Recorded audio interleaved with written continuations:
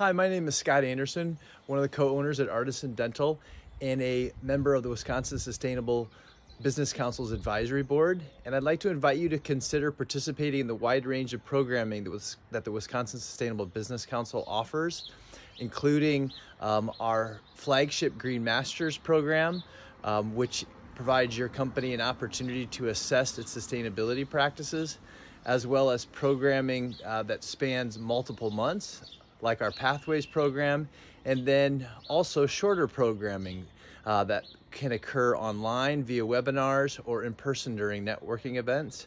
We found in our own business that sustainability principles and practices have been incredibly beneficial in terms of serving our stakeholders, and we'd like to invite you uh, to consider participating um, in the programming that the Council offers.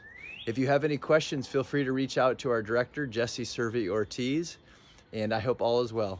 Take care.